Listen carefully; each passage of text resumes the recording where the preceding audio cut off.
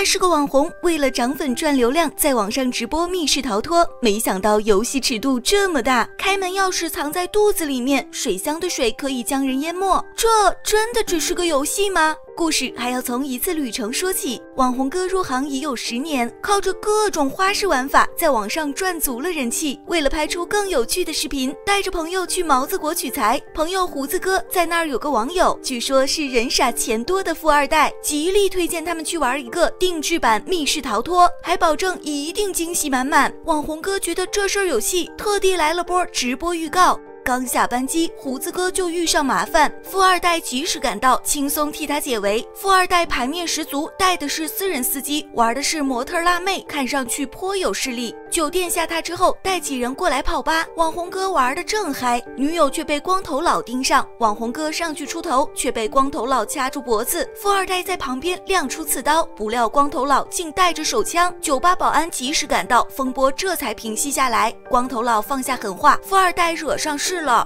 女友被这事儿闹得糟心，网红哥沉迷直播，经常忽略她的处境。为了给女友赔罪，网红哥带她去过二人世界，两人身上没有卢布，只好问司机借了一些。来到餐馆吃饭，发现里面夹了张纸条，网红哥未加在意，将纸条放回了原位。酒足饭饱之后，司机送他们回城，网红哥归还钞票，司机却没有收下。富二代带几人来到密室，网红哥开启了他的直播。几个面罩男进入密室，带几人进入角色。网红哥扮演的是拯救者，他被带进一间密室，桌上躺着一具尸体，地上堆着衣服和鞋子。网红哥翻了翻衣服，没有发现线索。尸体上划了一个十字，旁边摆着解剖工具，钥匙应该就藏在里面。网红哥抛开肚子，果然在里头发现钥匙，成功打开牢门后，时间还剩四十九分钟。胡子哥和镜框哥被关在一起，胡子哥被装进一口铁棺，棺材板上长有铁钉；镜框哥被绑在柱上，双臂被锁链吊起，下方齿轮正在运转，威胁着两人的生命。隔壁有一间敞开的牢房，墙上布满小孔，还有一个转动的齿轮。解谜方法应该是将齿轮放到正确位置。网红哥将齿轮一块块安到墙上。隔壁情况却在不断恶化，铁钉向胡子哥不断靠近，镜框哥手臂被不断撕裂，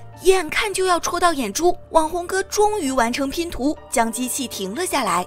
此时时间还剩三十分钟，三人来到爆炸妹这边，发现她被绑在椅子上，对面有一口迷宫井。解谜方法应该是将棋子移出迷宫。网红哥移动棋子，发现这会触发电流，将爆炸妹电得很惨。胡子哥接过棋子，顶着压力走出迷宫，总算将牢门打开。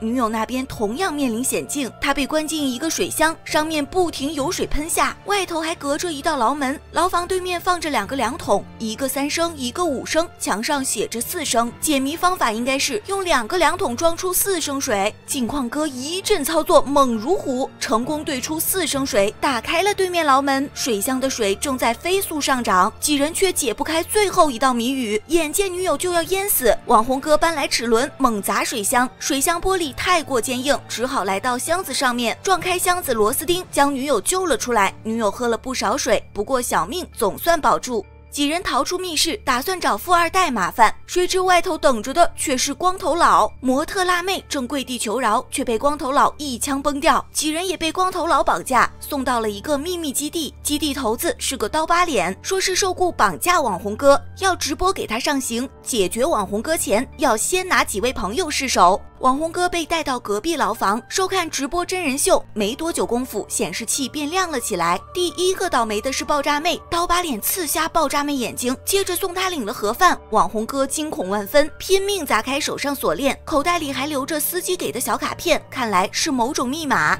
网红哥移来床板，从上面通风管道逃走。路上经过刑房，看到第二个倒霉胡子哥，刀疤脸锯断胡子哥手臂，接着送他领了盒饭。网红哥看得心惊肉跳，不想竟被刀疤脸发现，派出小弟过来抓他。网红哥急忙逃出管道，用铁棒引开小弟注意，逃到基地大门这儿。大门上安有密码锁。网红哥想起司机给的卡片，输入上面的数字，果然是大门密码。网红哥逃出基地，发现司机竟在这里等着。司机。没有时间解释，只好交给网红哥车钥匙，让他逃离基地。然而女友还在里头，网红哥不愿独自开溜。豁出性命进基地救人，没走多远就发现镜框哥牢房，打开牢房大门，将他从里面救出，避开巡逻的面罩男，逃进一间库房里头，从库房上方逃到走廊，寻找逃生通道。不料面罩男突然出现，拿枪朝两人迅速冲来，镜框哥将网红哥推开，自己和面罩男一起跌下电梯口。网红哥捡起地上手枪，继续寻找女友踪影，没想到却发现富二代和光头老师一伙人，司机也惨遭毒手。